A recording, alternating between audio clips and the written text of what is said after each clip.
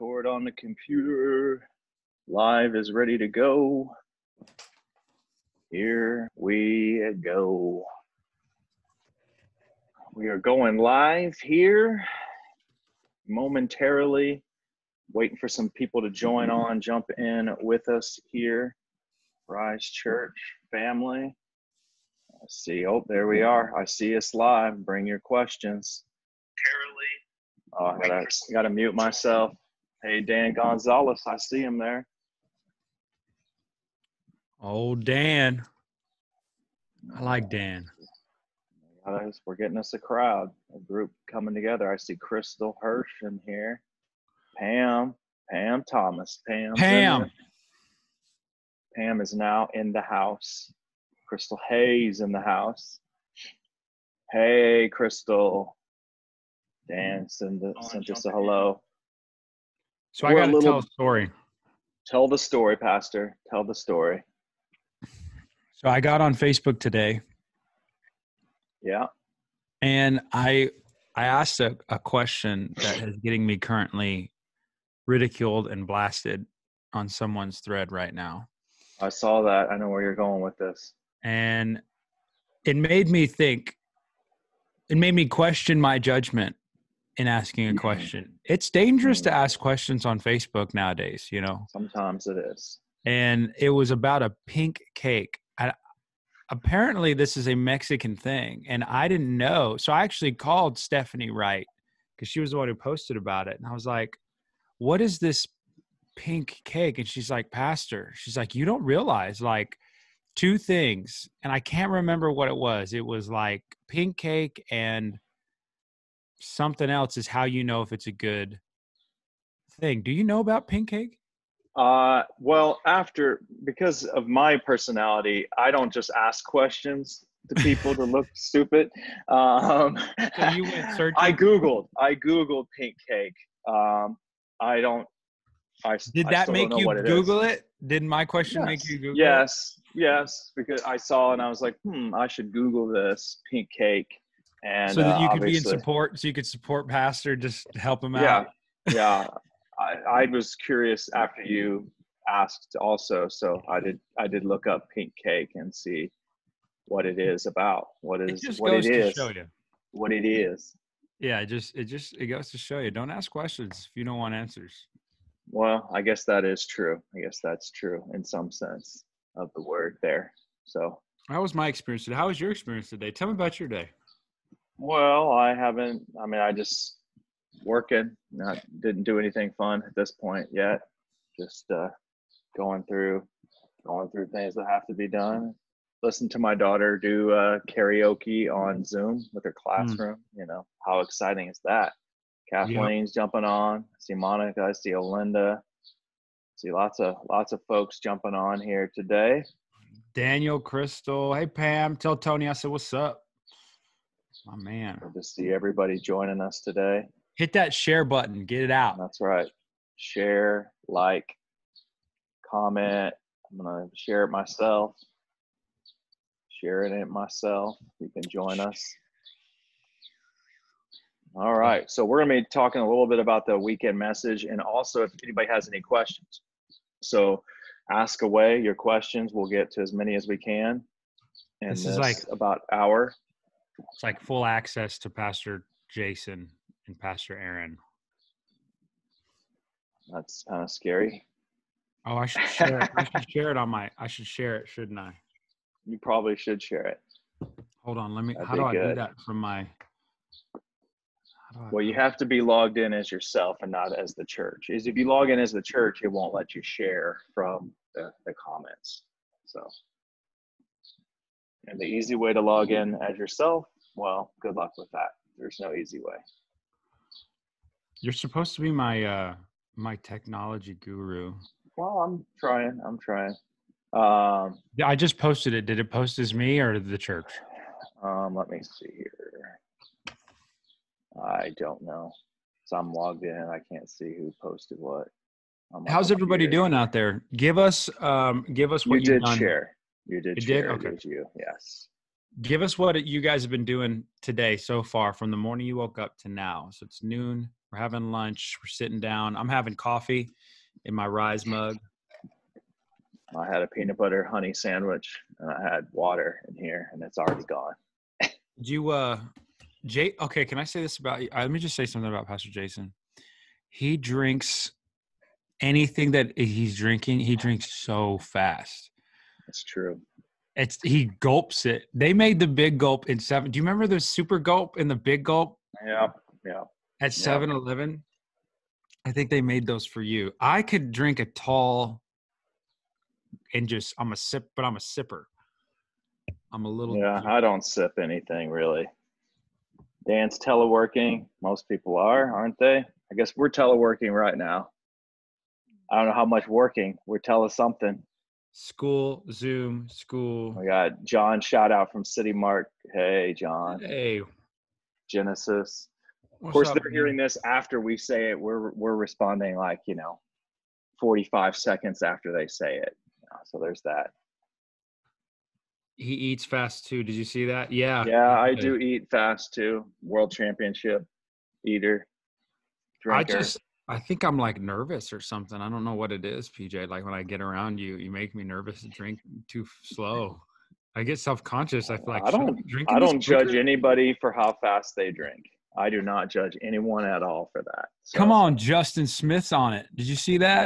Yeah, I did. He probably didn't watch long. He saw my face and was like, "Never mind." We need to bring him on a, a, a pastor's corner one day and just talk kids ministry. Like the three of us I'll could shoot him a it. text. I'll shoot him a text. Bring him on right now. See what he's doing. Let's do a live. Bring him on. He ain't doing nothing. Bring him on. He's probably he lives in Florida. They do lots of stuff there. There's beaches out there, and uh, he just waves. We could bring him in. Uh, we bring him in like a like a for a 15 minute kids ministry, family ministry session. I like Justin. He took me to the Mall of America. Yeah, I took you to the Mall of America too. You did too. But Did- it was was it was it the same time? Was it the same time? Did we go or did I think we connected? Maybe he came and met us there. No, because I remember you and I met, and then we met, and I got to meet him, see with him and his wife. We walked around the Mall of America. Yeah, when I brought you to the Mall of America, it was kind of embarrassing because you were like everywhere, and it was was it was like it was embarrassing. And then like we saw one whole other area, it's so big. And then you see another area, and you're like, "Is there's more over there?" And then we didn't even go on. Did we go to the other side? I don't know if we did. You normalized. You normalized the Mall of America. It's amazing. It's it's okay if you live there. It's like eh, you know. If you've been to the Mall of America on here, please say something in my defense. That place is amazing. It's just annoying. He said, I'm in the drive through about to get back for a meeting. Uh, well, you know, He's that sounds likely. He's, he's just too busy. busy. He's he's exactly Monica. That's how all the tourists that he did. He looked like, no offense, he looked like a tourist with a camera walking around like, look how big that is. You I was know, like this the somebody whole from time. like somebody from like Missouri or something. It was awesome. I enjoyed the Mall of America. I felt like it was uh it was powerful. Justin's rolling his eyes like you roll your eyes at me. Wow. You guys roll your eyes at me collectively. There's like a collective eye roll for everybody who lives in Minnesota. Yeah. Everyone who's ever lived in Minnesota is like, yeah, the Mall of America. No, I used to love going there, but I didn't go there to shop. Um, I went there to look at people. So that's why People go there. watch. People watch. That's true. People watching. Minnes- Minnesotans, Minnesota. How did you not go? There was no tax. Here's the crazy thing: tax free, y'all. Tax free.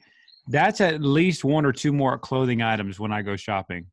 Yeah, I mean, I bought clothes there. I mean, I would go into H and M, get what I needed to get, and get out. Like that's it. But you don't. Ex- you don't have an experience if you do that. No, I experienced getting the clothes I want, and I'm done. I watch people for a mm-hmm. minute. Look at look at the weird people doing weird stuff. Then I leave. Like It's me with good. the camera. Yes, yes. I was so embarrassed. I was like, I don't know this person. I hope no one sees me here that I know. hey, to your credit, I will say this.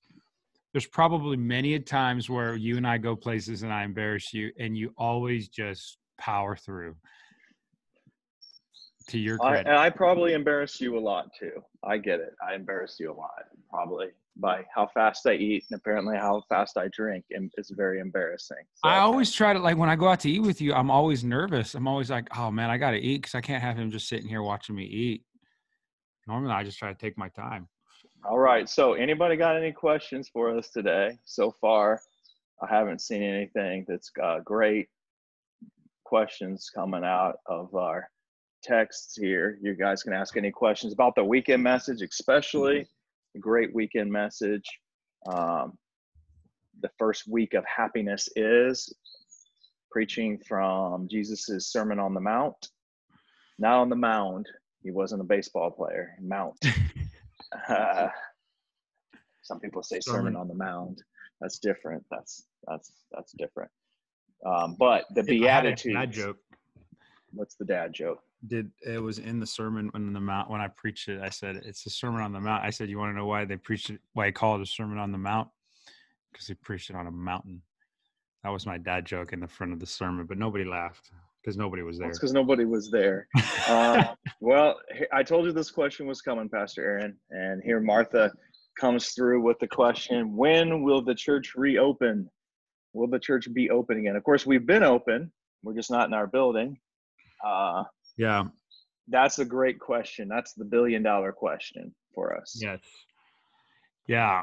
So um, every week, so you guys should know this. You know, our our strategy for as a leadership team, and, and Pastor Jason is a part of this, and you know, our strategy as a leadership team is to uh, take it week by week. We know some churches are like, we're canceling for six months and then we'll reevaluate. Well, I, I probably uh, would think that they've probably made some changes and adjustments inside of that situation. Um, ever since COVID 19 started, it's been kind of a daily, weekly change. And, um, you know, I think a great leader um, reads and reacts. And right now, you have to kind of do that because, I mean, you know, we, you know, if you go back, shoot, two weeks ago, they said two, you know, what was it? It was like 250,000 people were going to die. And Yeah. then, you know, four days later, it was okay, 150,000, then 100,000. Now we 60,000 is what they think it's going to get to. Yeah. And that all happened within a matter of a week, you know. So I think the best thing we we try to do is just read and react and and and make wise decisions in the moment. And so um, obviously plan ahead, try to be as ahead of where we're planned. We're actually, you know, we had a staff meeting yesterday planning contingency plans. What are we going to do? How are we going to shift? Yeah. Shift? How can we, you know, what would happen if we, you know, if the government opens up and says uh 25 50 100 so we're walking through that Yeah. as a leadership team um, but for us, we we try to just let out a week at, in advance. So we do two main things on the week during the, every week, just so that if you don't know, and if you need to get signed up for our emails because we send out emails. We use emails important, and we we don't blast and spam. We send out emails that matter. We take it seriously. Try not to put like a giant paragraph of nothing in it. We try to give you information you want to know, and it'll give you primarily um, what's happening with the church this week uh, this coming weekend. Um, I attach a video that I record as well to it, and um, um, I do a lot in it to make sure that that we're doing the right thing to give you information. So to be clear and That's bring good. clarity. Um, and then uh, so we do that every week. And so with that, um, to answer your question, we don't know. Um, we're just being honest. We don't know when we're going to get back together again. Um, the there's a lot of questions that come into play. Um, just because we can, uh, the statement "just because we can" doesn't mean we should. Uh, comes Yeah. into it a little bit. I think part of it is is my number one job. I'll give you kind of like my number one job right now. I would say is like the number one, number two job is not just delivering you spiritual food and making sure you're okay, but my number one job is to make sure you're safe. And I would mm. feel terrible. We would feel terrible as a leadership team. We would feel terrible as a church as if we had church just to have church and get together and then something terrible happened to someone and and the hard here's the hard part about all of it we don't know like you couldn't point back that it would have been you got you know say somebody got the virus or whatever they couldn't say that it came they couldn't trace it all the way back to us maybe they got it safeway or you know or heb or whatever you wouldn't know and the problem is with that is is we don't know. So we're just trying to walk out what's safe what's uh what's doable. We think our online experience is really great right now. Obviously online is not the same thing as getting together. We don't think we'll ever that's not we're not called to do digital ministry. We're called to do church. Mm-hmm. but right now yeah, we're yeah. doing digital ministry because we can't get together and do uh, local gatherings so to answer your question we don't know um, yet uh, we hope soon we, we're going to take the advice of my board my pastors um, men around the country leaders around the country government officials health care officials and then we'll pray and seek yeah. God and ask ourselves what's the wisest thing in light of our present, our, our, past experiences, our current circumstances, and our future hopes and dreams. What is the wisest thing for us to do? So, so my good. promise to you is to be wise in our decision makings. And you know, here's the deal: no matter what decision we make, one of you guys are going to be upset with us. You're going to think we went too early. Some of you are going to think we went too late and eh, that's the tension of a leader. I'm okay with that. I'm just not okay with us doing something unwise and maybe it's too good. quick. So it's good. Um, and, and you know to address to add on to that, we we are aware that the governor said that churches can reopen. However, understanding why the governor had to release that document or why they chose to release that document is somewhat again i'm not a lawyer nor do i play one on tv or on zoom calls uh, but it's clear that they were trying to make sure that they didn't have to deal with any lawsuits from churches who decided that they were going to go ahead and you know cite the freedom of religion to continue to meet so if you look at the recommendations of the government we couldn't do those recommendations to open right now. And the, the space and facility and the size of a congregation that we have that would not be feasible for us. And it wouldn't be wise as pastor aaron said. So i just wanted to add that on. Yeah. Yeah it's uh it's a tough situation. I'll just say this every church in america right now is fighting. I've been on zoom calls. No one knows what the right answer is. Yeah no one knows what the right answer good. is so it's just trying to be safe um, this is a good think... question came in another question uh, we have a few here now this might be off topic i'm sorry i have an answer for this question by the way but i'll hear what you have to say first my son's guinea pig died yesterday. I was trying to explain to him what a soul is. It was tricky, and I probably left him feeling more confused. Can you give any advice on how to have this conversation with the child? Go for it. Okay. um, so, uh, you know, here's how we have used and described this to kids over the years. Um, and you may be aware of this. We are a what what I would say a triune being. In other words, we are a spirit. That's the true us. We have a soul. Our soul is our mind, will, and emotion. Sometimes people conflate spirit and soul together. That's okay. There are some scriptures that even do that. And then we live in a body. So I, I'm a spirit. I have a soul. I live in a body. That's the way I look at it. Paul wrote about it: spirit, soul, body. You know, multiple times throughout Scripture, we see, uh, you know, the sundering of spirit and soul. Spirits. You know, there, there's a, there and so what we've done to explain that to kids is um, we look at our body as kind of our, we use the term sometimes like our earth suit. In other words, this is the, the suit we have to live in to live on the earth. That we're really a spirit that we can't see and that we have emotions, we have feelings, we have a mind, we have thoughts. That's all part of our soul realm of who we are. And uh, and so understanding that we are a spirit, we have a soul, and we live in a body. The body is what dies on this earth, but the spirit lives on forever. If we, this is of course how we set up like making Jesus the Lord of our life, because that's that's why we want to make that decision. One of the reasons we want to make that decision is because we want to live with Him in our spirit forever in heaven, uh, and then where we know we get a new body. Um, and so we'll do that. We'll we'll sometimes refer to it as like I know we've used like an outline uh, of a of a of a of a kid. We'll have a kid and we'll cut him out, and then we'll have another version of him, and that's his soul, and another version of him, and that's his spirit. And you don't see the spirit and soul because they're they're inside the body. Um, and so, really, what death is is is our spirit and soul leaving our body behind. And so that's the simple, simplified version of it that will. Hey, that you will know what you should do? kids. What's you that? should make that a video and put that on our parents' kids page or something right now. that. I could do Just that. That'd be great. You know, just Maybe I'll like, just clip what I just said and make that work. Maybe I'll do that. exactly yeah because i think that could be a good topic for people you know even with my children they're asking me about what's this coronavirus and Yeah. i think i think it's okay to bring them into the conversation you know i Yeah.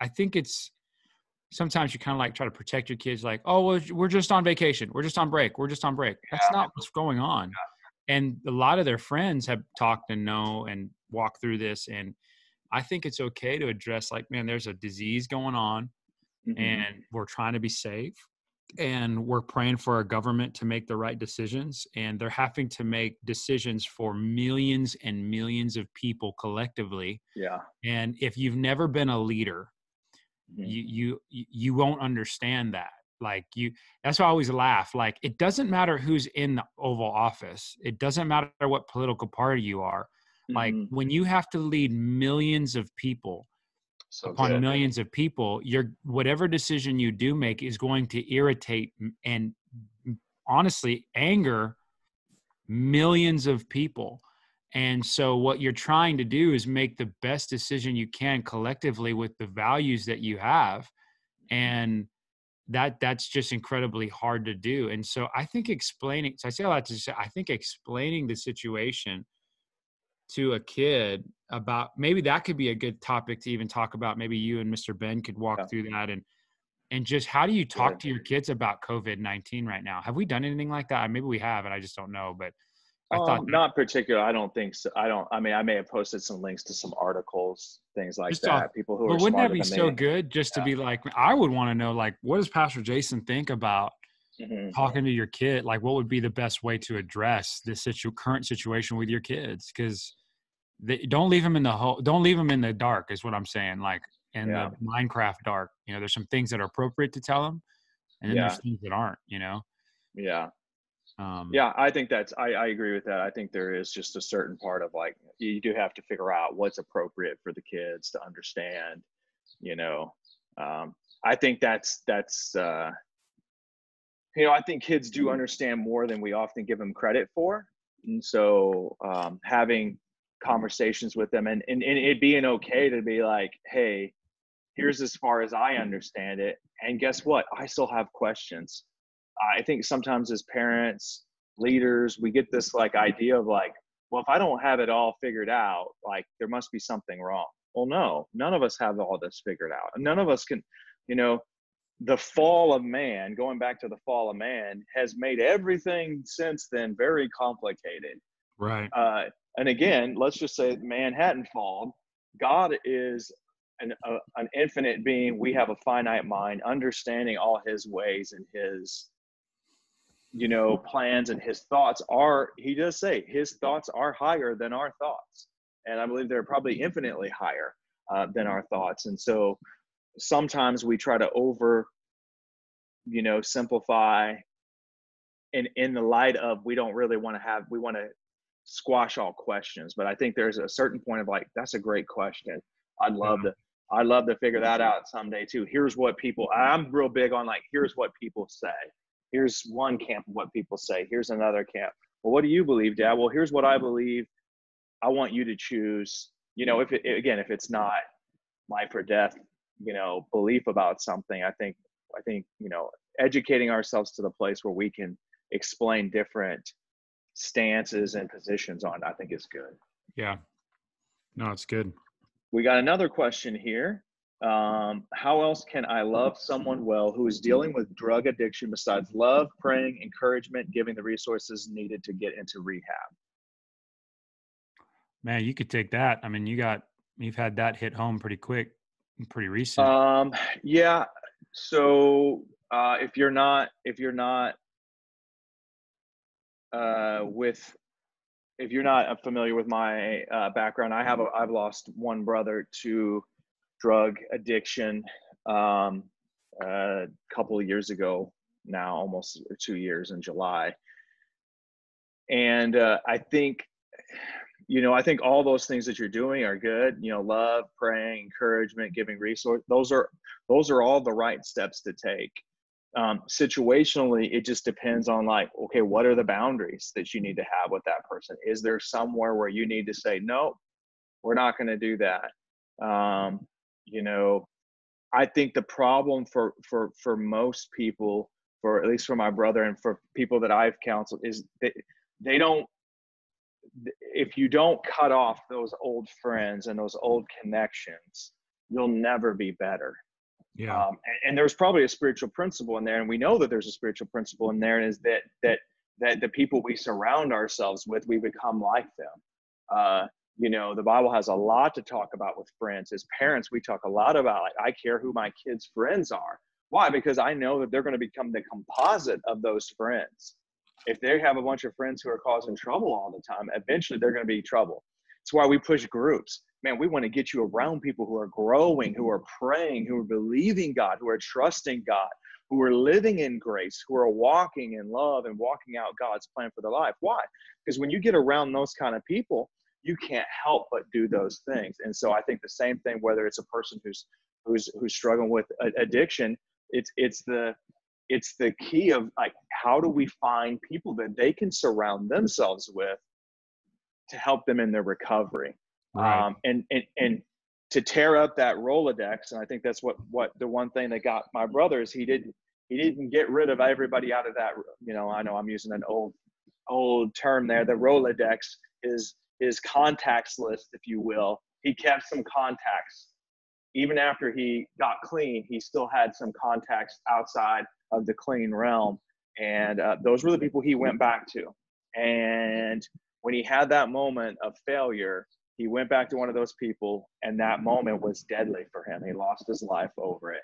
And so, not to oversimplify, again, I just criticized oversimplification, but there's just some of the things you can do on top of that thing is just try to be there for him, encouragement, but at the same time, there has to be boundaries. So I know for my brother, I had to have to say like, hey, no, uh, here's the things you you know we allowed him to live in our house for a, a, season but here's the things you can do in my house here's the things you cannot do in my house or you cannot do on my property or in my neighborhood. Like and again not all of them were drug related some of them were just habit other habit relates relations and it's like no no no uh, we're not going to allow that in my home. And so it's just uh, loving them but at the same time i think uh, you also have to have boundaries for the person uh, to help them to know they're, they're there is no such thing as love without boundaries. That's not that's not true. I know you've talked about boundaries, Pastor, um, lots here. That that some part of loving a person can be just like, hey, here's the line we will not cross. Yeah. Well, and I, I think too. I think the nature, of the answer to that question. I mean, like, I think just as I'm walking through it, um, as I just walk through that question, I I just want to say like man, I feel for you. I know me and Pastor yeah. Jason, we just feel for you. You know, we're sorry uh, that if anybody goes through that, you, you just, mm-hmm. I mean, mm-hmm. you, will never forget it. You know, it, that's just a yeah. rough, rough thing. Um, but I will say this: like, I want you to read your question too. Like, I think this is important yeah. because I think sometimes it speaks to the the nature of humans, and then I think the nature of Christian culture. And it said this: it said, "How can I love someone well who is dealing with drug addiction besides loving, praying, encouraging, and giving the resources needed to go into rehab. Like my my only question to you would be like, what else can you do? Like, mm. I think at some point, like we have to be okay with like, no, no, I'm not their savior. Amen. And yeah. like I'm I'm not I'm not required to I mean, look look at what you did. You listed four things that I would have told you. Like, if you just asked me, "What do I do?" I would have told you those four things. Yeah. And then, like, I think there's almost like a natural, like, what else can I do? I got to help them. If I don't help them, they're not going to make it. That's not true. I think yeah, God uses so people, but I think God uses multiple styles, multiple angles, multiple levels of people.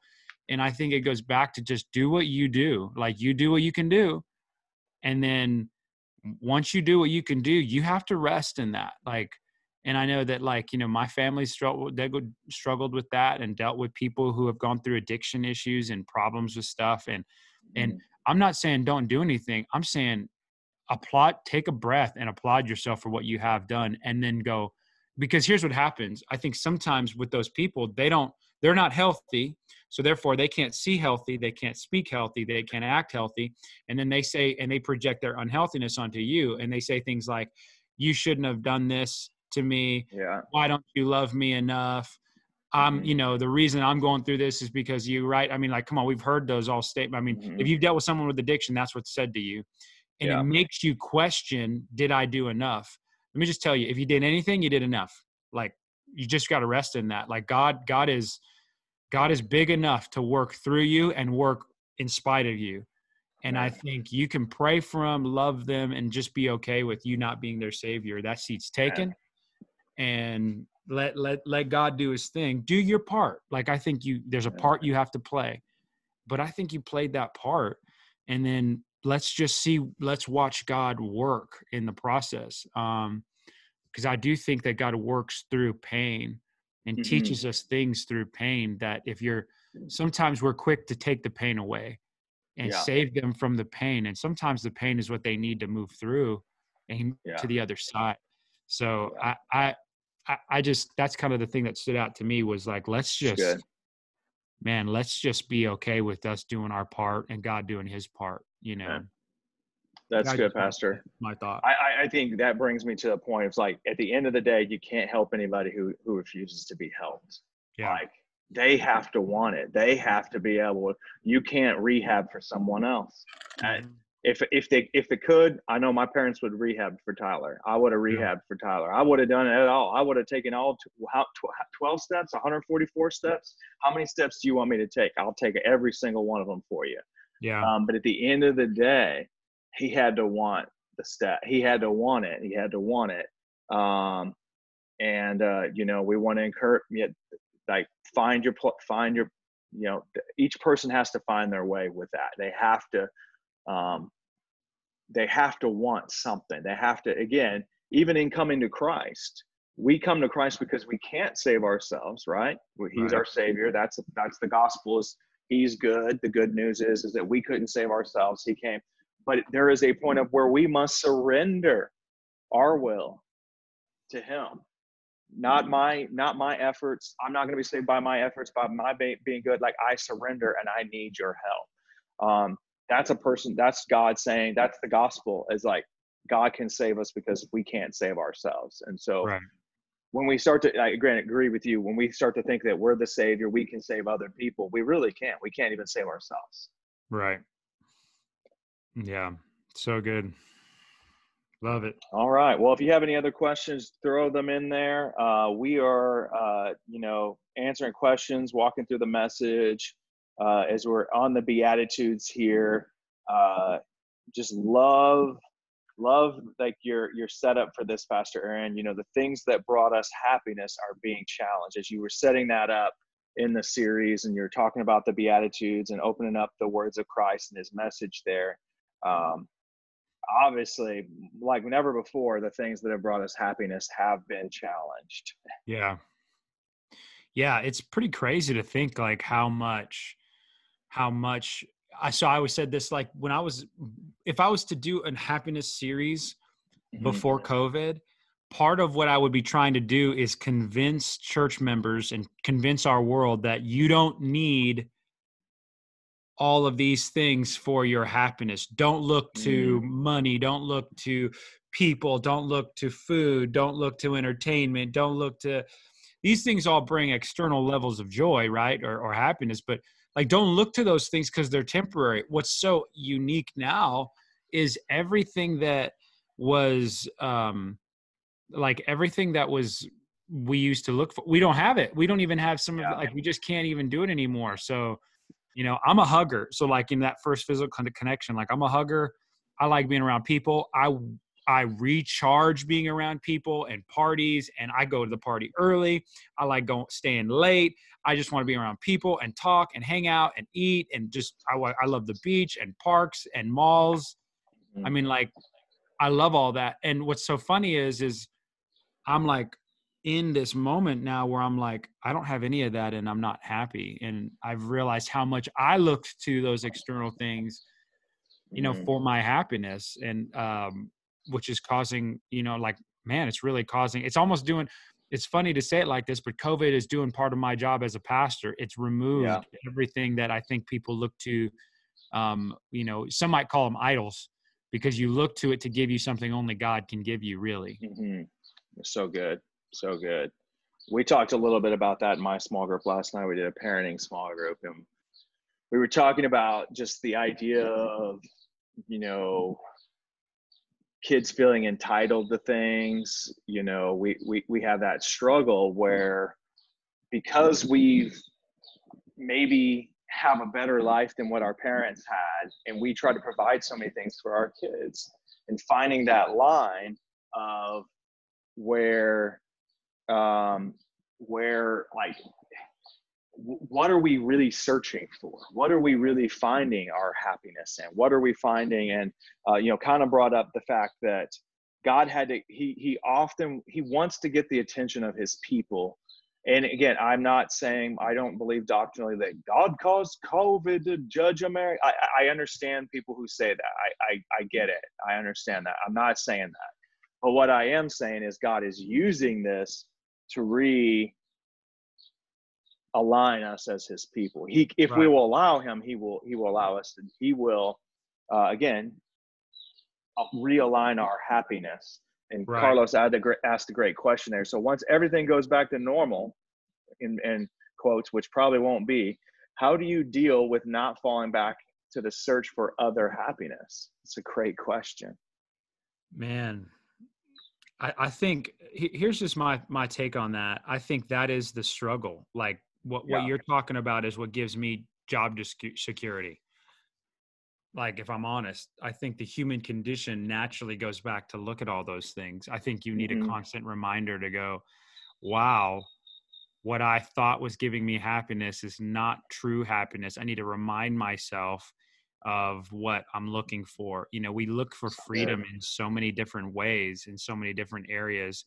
And once we truly get, I think sometimes it's like, um, I think this is an Enneagram thing. I think you told me about one time, but like my personality type, so I'm an Enneagram seven. I know you're an eight. And so for me, I have huge disappointment. I have really highs, high highs, and then I have really low lows. And the best part of the party for me, and I think I think this is what you told me from some of the research, is not even the party. The best part of the party is leading up to the party. Is like my anticipation towards what is going to happen. And then Mhm. like I get into the party and it's never what I want, right? Or it's never what I Mhm. think it's going to be but i think that's how it is with like some of these things that brings us happiness we have to remember like we build these things up in our mind because i know like i can get up there and preach like money won't bring you happiness but everybody in this crowd is saying under their breath and in their minds are like well give it to me and then i'll let you know if I'll let, let- I'll let me try. Let me try. Yeah. Give me some of it. I'll try and see if Yeah. it makes me happy. yeah Yeah. yeah, so I, I get it like I, I get that but i think you have to just this is a great opportunity that's been given to us we should write in a journal you should make a video you should make an audio recording you should write it on a sticky note and make it so vivid for you to realize and remember and easy to go back and remember what it felt like and say remember what this felt like so that when i do have an opportunity i can truly figure out man i, I can remember it wasn't what I thought it was. Actually, I found Mhm. more happiness because I think, you know, the first part was shock. Everybody was in shock and in awe. What's going on? Mhm. Everybody's freaking out. I even mentioned um, a little bit about this that like most of us are experiencing, um, you know, uh, uh, a happiness, uh, a, a really, I think, a happiness issue right Yeah. now. Um, I didn't put this in my sermon. I cut it out at the end uh, right before I did it, but I, it's I said the survey that recently had, I think it was like a Nielsen survey or something, said 45% of adults um, say the pandemic has affected their mental health. 90% say it's major impacted. Nearly 7 million people are Mhm. affected by generalized anxiety and 6 million with panic disorder. And that was all before COVID. And so now you're seeing a sharp increase in that. And so I think because of it, you're you're starting to see like I just think it's revealing the cracks in all of our pots. And so we just kind of got to go back and go, wow, the thing that I didn't I think you can I actually really think this. I think when when we go back to regular life-ish, I don't think it's going to be what we thought it was. And I think what we really really I don't want us to miss the moment, I guess is the issues. I don't Yeah. want us to miss the moment right now. it's it's interesting we drew some parallels in the scriptures to god's people the israelites in the old testament if you understand the history of the old testament that uh, you know they were moses brought them out of egypt into the promised land and the promised land was a land flowing with milk and honey which was a metaphor for everything you could ever want uh, and god made that a part of his promise and a part of his blessing so Right. it's Right. not that God was like, no, no, no, this is evil. But what you see happening throughout Scripture, if you understand and you and you interpret Scripture with Scripture, is those things became God to them. And in order for God to really get their attention back, what they had to do is they actually had to go through an exile where everything they had was taken away. Sound familiar? Like everything they Yeah. found blessing in was gone. Everything that they enjoyed was gone. It was all gone in a moment and it was all taken away from them. Um, that was the only way God could get their attention. Right. Again, don't hear me say something I'm not saying. You know, be clear what I'm saying here is I believe God is using this to get our attention. Like, hey, hey, hey, hey, hey, hey. He tried to get their attention outside of that. And I'm not saying this is an exile. He tried to send prophet after prophet to get their attention. And so I see parallels with that. Again, I'm not saying God, this is God's judgment, any of those things. You might believe that, that's fine. I- I'm, I'm not saying that I don't believe that. I'm just saying, like, it's clear as day that God is using this to get our attention, regardless of your belief if this is a, you know, God's judgment or whatever your your stance might be on that. I wonder. Uh, I'd love to hear any questions from the message. Anybody, if any, any questions? You know, I know we talked. We talked about like. Uh, I remember, uh, "Blessed are the poor in spirit." Um, yes, I love just being able to break that down for people. And yes. what The you- four depends. I thought that was good. I'll reread those. Uh, number one, how do we depend on God? Number one was depend on God's wisdom, not our wisdom. Yeah. Number two was depend on God's strength, not our strength. Number three was depend on God's timing, not our timing. And number four was depend on God's wealth, not my wealth. So, any Yeah. questions about the message, anything that came up, anything that sparked your interest, we'd love to hear, answer any of those questions. Would you like? I'm always curious what stood out to people. You know, you're you're a preacher, Pastor Jason. It's always good to know. I've always noticed like the thing I wanted to hit rarely hit, and the thing that Yeah. I thought would not be a big that you deal. just thought was like, oh, no big deal. They like, whoa, that was big. Yeah. You know, I think every time. I liked, you know, for me, I'll just give you just kind of my, I, and I, I'm serious about this. I think some people will laugh when I say this, but I'm like, you got to remember, this is preached to me all week long. I think there's no coincidence between me preaching it and hearing it as much as I need to mm-hmm. hear it, that God's giving me a word. And it's not giving me a word for other people. I think first he's giving me a word. I look at it like this God, you're giving me a word. Yeah. What are you doing with this? What do, in light of this information, how does this change my life? And and I remember I remember hearing like sermons you probably did too before, like where you hear from crazy people where they're like, "Blessed are the poor in spirit." That means Yeah. we need to be poor. You need to not have like you're like, well, that's not what that said actually. Yeah. Yeah. And and so I think I like addressing like what was God saying, you know, it, and I like bringing out different translations and transliterations of that scripture. You know, I said like God blesses those realize their need for Him and are Mhm. spiritually helpless, but they depend only on Him. And I think that there's this like uh, God, God, uh, happy are the ones that depend truly on God. And so I kind of wanted to break them down, like so break God, break down for their wisdom. I know a ton of people who just get in crazy situations. They're godly people. They love the Lord. They Mhm. act Christian until they need to make a decision and then they depend on then they're the most radical atheists you would ever hear and ever see. I th- what's that statement? There was a the practical practical atheism. Yeah. Yeah, yeah. Okay, yeah, yeah. yeah but it's true, right? Like So you're when you get into practical moments, you don't actually allow God into those moments. It's called practical atheism. Most people, most Christians today are practical atheists. Yeah. Yeah. Yeah, like you. Oh, oh, I'm Christian. I'm yeah. I, oh, I love Jesus. I love God. Okay, well, let's talk about your. Let's talk about your money. Well, what do you mean about like? Why? You know. Well, okay, let's talk about your marriage. Well, no. I, okay. Well, what about your parenting?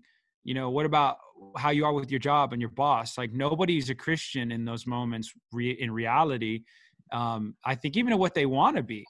And so for me, I think the wisdom piece was like get out of the seem good moments, you know. Like I every bad thing I ever did, PJ. I don't know if you're like this. I'm like, man, it just I it felt good. Yeah. Yeah. Like it, it felt like it should have been. Seemed like a good idea at the time. and so I think it's just like to me that was just a call back to like, hey, you know, like you and I rarely see things 2020. Like we just Mhm. don't. Like so let's just let's just pretend like let's just pretend God knows what he's talking about and that he's figured this thing out about marriage, wife, kids, Yeah. family, you know, all that. So um, that that was really that was good for me because I realized, man, how many times I do that where I'm like, no, I want to Yeah. do what I want to do. Yeah. It's good. That's good. I think that I think that's that's that helps bring some clarity to it, understanding uh just how to depend on God and all those all those various ways. I heard so much good about that and just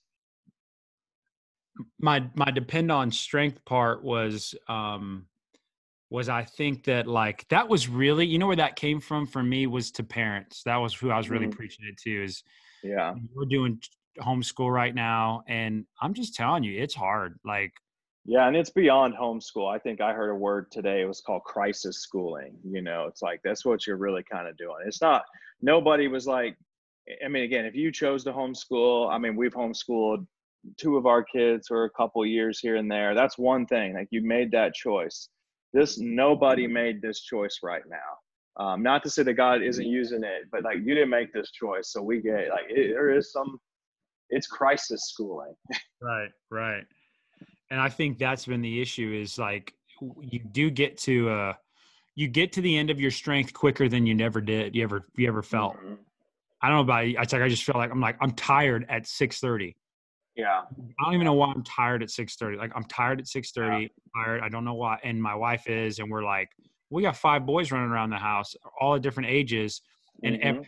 what was that meme you showed me today or yesterday about the kids getting on different platforms? Oh yeah, it was like the teacher log into Zubelzort and look at the Zwack and and you know get your assignments off the Brumblebort and uh, and and and and it's like all these apps and things that you're supposed to know and like they got a video for it, but the video don't match up what it looks like on your screen because it's a different operating system. You've got a different version.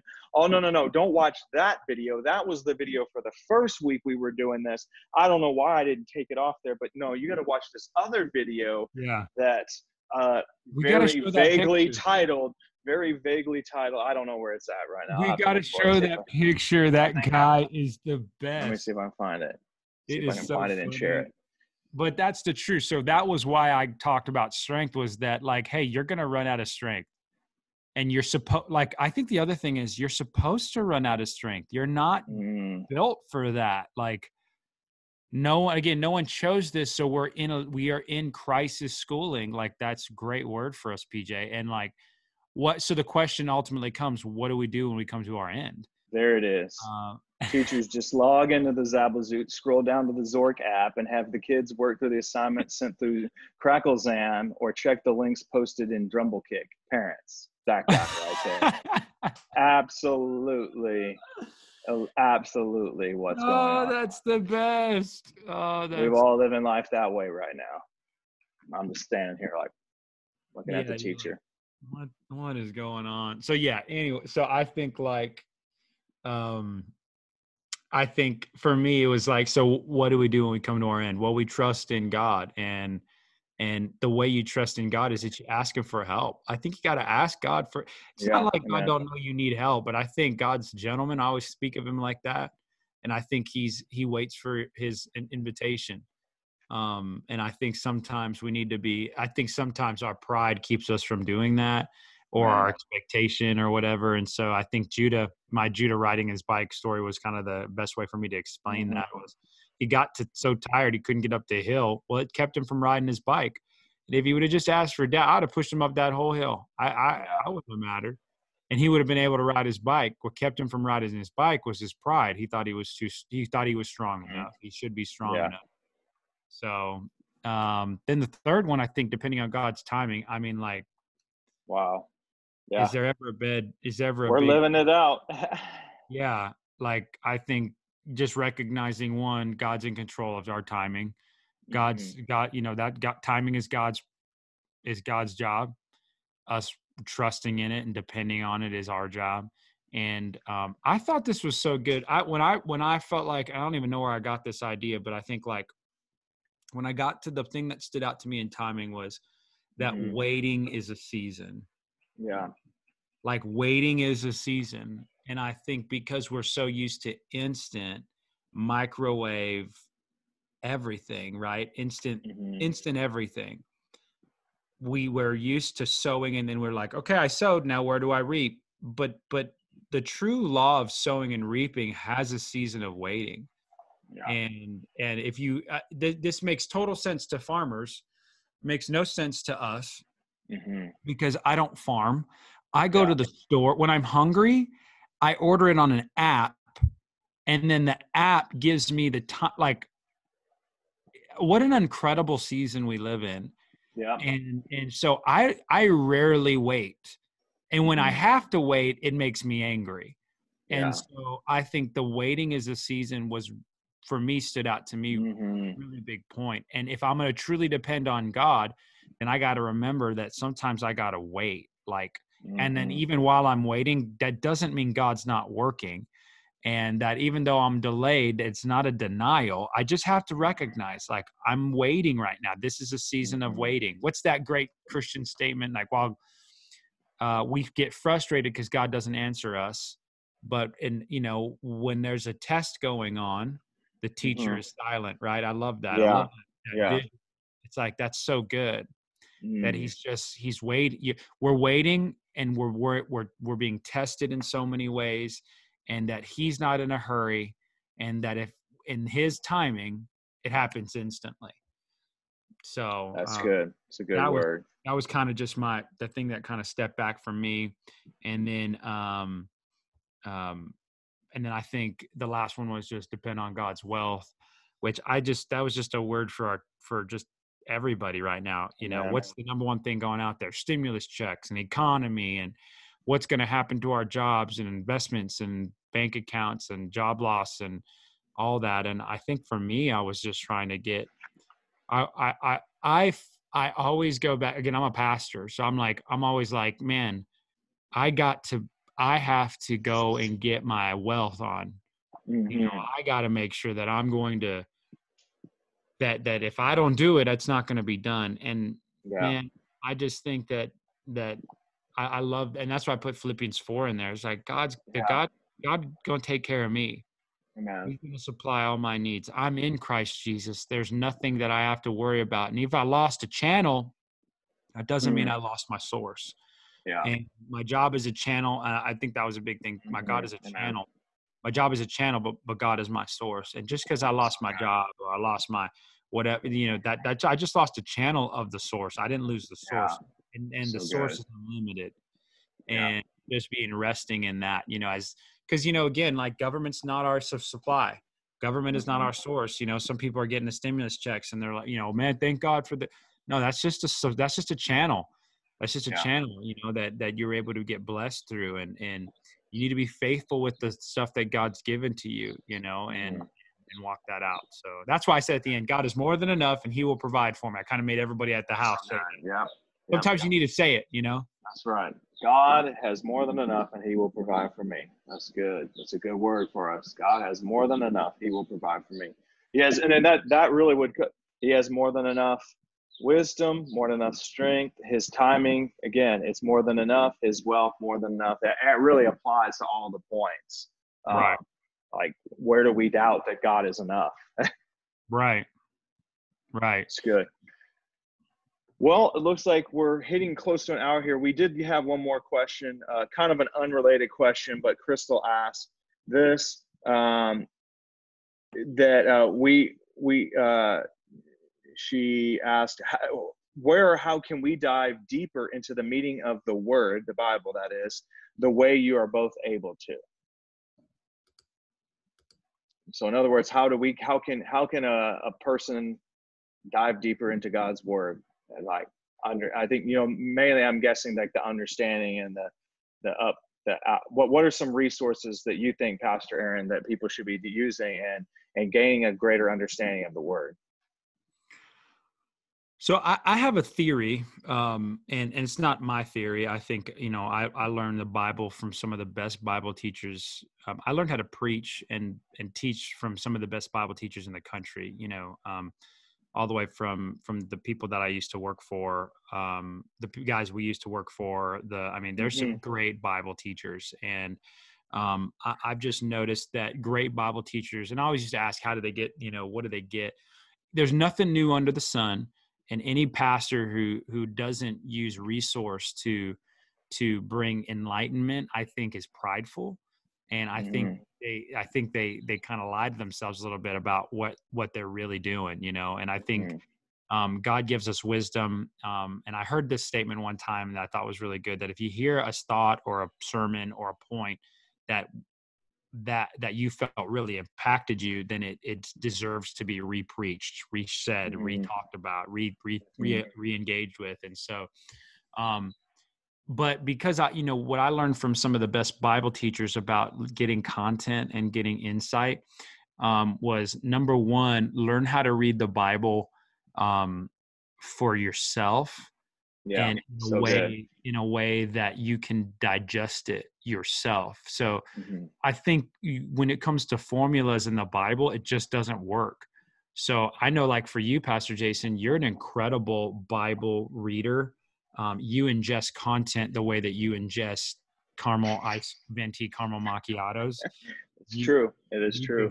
You suck it in, and I think like you know you'll tell me some of your bible reading plans and how you digest the word and books you read and it gives me anxiety because i'm like well, number one i can't read that fast number two i don't even i have to go back and read i feel dumb sometimes where i'll be like i read a whole chapter and i'm like i don't understand what any of that guy just said i gotta go reread it again and so mm-hmm. I'll have to like um, I really take time.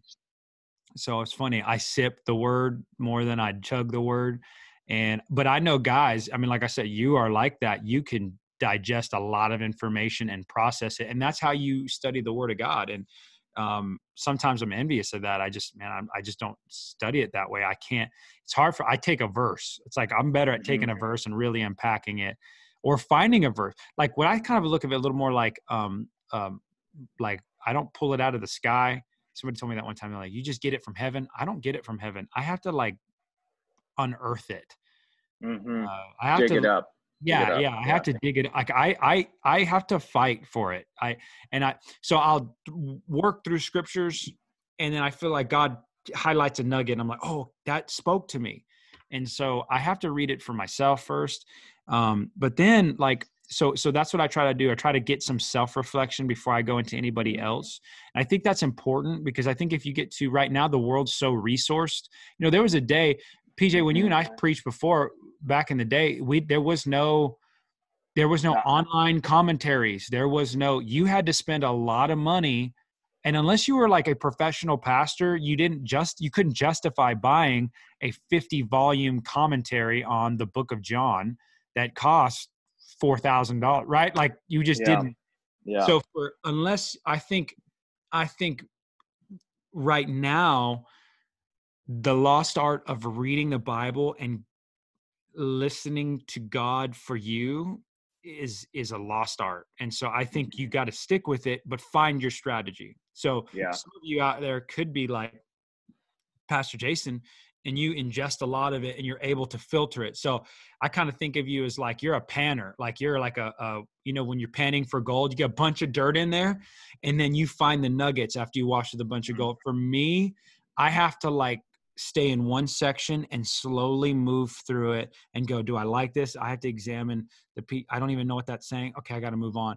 So i'm slower at it but that's how i kind of get personal revelation. I think once you learn how to do that then i think moving to like a comment a good commentary is great where you're able to read what great theologians or bible scholars know how to do and walk work through it um, there's some great insight. Um, study Bibles um, are really good. Those are like basic to me. Those are like basic commentaries. So study Bibles, um, where they're able to kind of give you. I have a, a, I actually have one right here. Hold on. So, uh, so here's a here's an example of a study Bible that again. So like, if you're a new Christian, like I actually wouldn't, um, I, I wouldn't uh, necessarily say not to do this because this is these are great ways to figure out what the Bible's actually saying.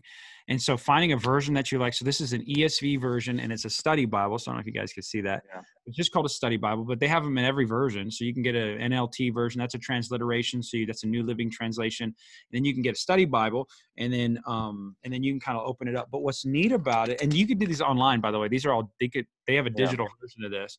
Um, but like you can kind of see i'll kind of try to show it to you online i don't know if you guys see it but like so for instance like the top part of this is the scripture and then it has a little number and then it goes to the bottom and you can read about what it's saying. And so like you know it's eh, some of the bible is extra incredibly hard to know what they're saying especially context what's happening what the language means. So i just opened it up to jeremiah chapter uh, 49 verse 1 and it's the so so 49 verse 1 and it says concerning the ammonites thus says the lord has israel no sons? Has he no heir? Why then has mm-hmm. milcom disposed gad and his people settled in his cities? What? Right gad who's gad? Who you know like what what does disposed mean how did you know who, is who is Rahab like who's Milcom? What what sons? You don't know what's going on. So you just look 49 and you look at Ammonites. And so in the bottom of the thing the study bible says people living north of Moab their capital was Rabbah present day Amman. During Joachim's reign they raided Judah and they conspired uh, with Judah and others against Babylon and Zedekiah's reign.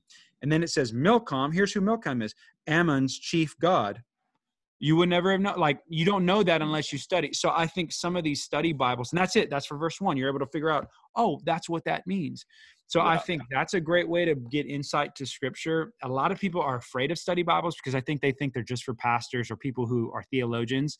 Honestly some of the best thing i did when i first started reading the bible bibles i got a good study bible and then i was able to just start with a chapter and read through it and figure out what does it actually mean? Who are these people? Where did they come from um, and break it down. And then I think the next one would be getting into commentaries and um, you know doctorate dissertations on things. Some of those things are really good. Books on on.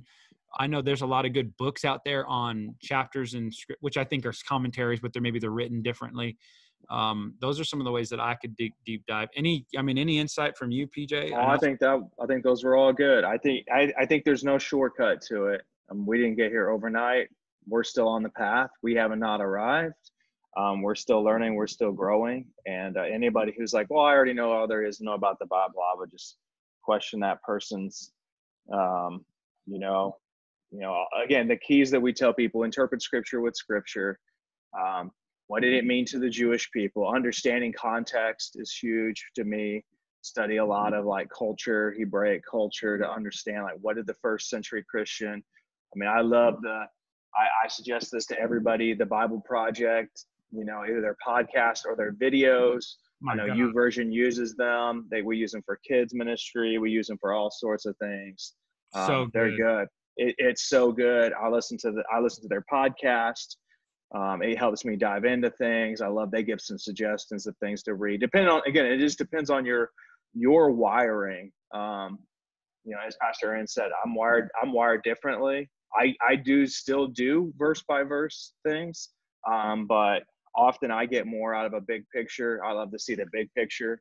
Um, but right now I'm going verse by verse in Galatians, and I've been at that since the 11th of January. So, and I won't finish anytime soon. So on verse uh, chapter one, verse three right now, or four, I think. So I, I will say this too, and I think not being afraid of listening to other preachers that Mhm. teach differently.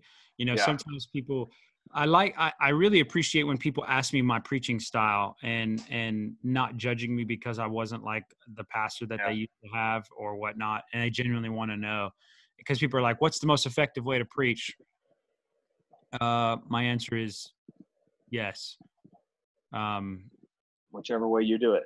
yeah, I think like because I know some guys are real big on exegetic exegetical preaching, you know, where they take a Yeah. passage of scripture. There's guys we know in our, you know, other camps of Christianity, and they'll preach the book of John for the year. And they'll go, Yeah. we're gonna take one verse today and we're gonna walk through this whole verse this week. And you know, you got 52 week series on John. I, I couldn't I'm not saying I will never do that. I'm just saying I couldn't do that in my current state. I'm I'm I'm a little my mind's just I'd get bored real quick. And so they're like, "Well, you're not teaching the whole Bible." Uh, no, that's not true. We teach the whole Bible. We teach every aspect of the Bible. We just have a different strategy in doing it. And so I think people find what they like and then they make that the way to do it and then they defend Yeah. it. And the only way to properly defend your way is to make someone else's way look bad. And so in their minds anyway. And so I think what I try to do is just celebrate all kinds of things. So I have guys, I like to listen to guys. One guy people person asked me, I could teach, I used to teach, you know, preaching classes, you know, and then I used to I did that for other churches and try to help other pastors. And one of the ways I used to tell people like listen to different preachers for different things. So every Yeah. pastor has got his strength. So I listen to different like I listen to a preacher right now and all I listen to him for, I don't listen to him for biblical content. You know what I listen to him for? I listen to how he tells stories. He's one of the best storyteller I've ever seen. Um, Mhm. I want to hear his inflections, how he tells a story, how he wraps it to the verse, how he adjusts Mhm. it. He can bring you in. That's powerful. Um, I listened to another preacher because of his exegetical ability to break down a passage in scripture. I hit him like, I didn't even see that. How did you see that? I Yeah, listened to another good. preacher on how he how he ebbs and flows inside of a of, of a verse. I listened to another preacher on his creativity, how he's able to take that and make it relevant to us, take an old ten, old first century thought and make it relevant to a new century world. Like I, so I think the uh, one of the great ways to go deeper in scripture is to find great Bible teachers who teach them differently. Yeah. Yeah, Yeah. I think that's good. I think obviously we have more uh, resources today than ever before. The Bible app, you know, with ver- with with ver- very all the free versions there, and I know it is good to have a, a paper Bible that you read from, but you know, being able to read digitally, I do read digitally now. I I do read some in paper still, but primarily digitally is. I know everyone says I get so distracted. I understand that. You know, you do what you have to do there, but there are infinite ways to study scripture when it comes to that whether it's like hey i'm really interested in scriptures on fear all right well they got 500 plans for that anxiety okay i'm gonna i got 500 plans for that peace all right i got plans for that or i just want to read through the book of john and i want to you know right now as i said i'm reading through galatians i read through literally every plan I could find on YouVersion on Galatians. Before I started, I'm just like, hey, I'm going to read through it again and again. I'm going to change versions. I'm going to look at it in different versions. I'm going to find people who are conservative. I'm going to find people who have a, a little bit more liberal view on this. I'm going to have people who have different opinions, and this it's going to help me form what my opinion is by looking at it, taking it in context, and understanding some of the things. So, you know, those are just a few of the things. I know we're over an hour now, so I don't know. Uh, if we want to wrap up. I don't see any other questions out there, but anything you want to add before we go, Pastor Aaron? I love you. Can't wait to see everybody soon. And uh, if you are a parent um, of uh, of a teenager going to camp, I think we're going to be doing a, uh, a little video for them soon. Yep. So if you have Two o'clock. yeah, if you're a camp kid and your parent is uh, available, get them on at two o'clock. So. It's good. All right. Well, you guys have a great day, and we will see you. That, oh, we got a guest next week too. Don't forget, log in Yes. week. We have a, a guest that we will tell you All about. right. Come back next week. Same bat time, same bat channel. All right, bye.